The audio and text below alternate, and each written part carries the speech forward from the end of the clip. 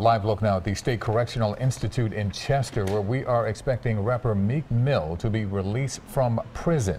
Now, the state Supreme Court ordered him released on bail earlier today. Now, Mill, whose real name is Robert Rihmeek Williams, has been serving a two to four year prison sentence for violating probation.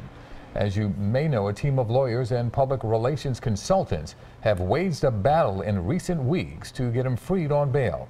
Prosecutors have said they believe Mill should get a new trial because of questions raised about the credibility of his arresting officer. Chopper 3 is above the situation right now. Many people, have, of course, have heard the news. They are lining the streets in anticipation of Meek Mill's release from prison, which could happen any moment now. We are there on the ground and in the air. We will bring you the latest as soon as it happens.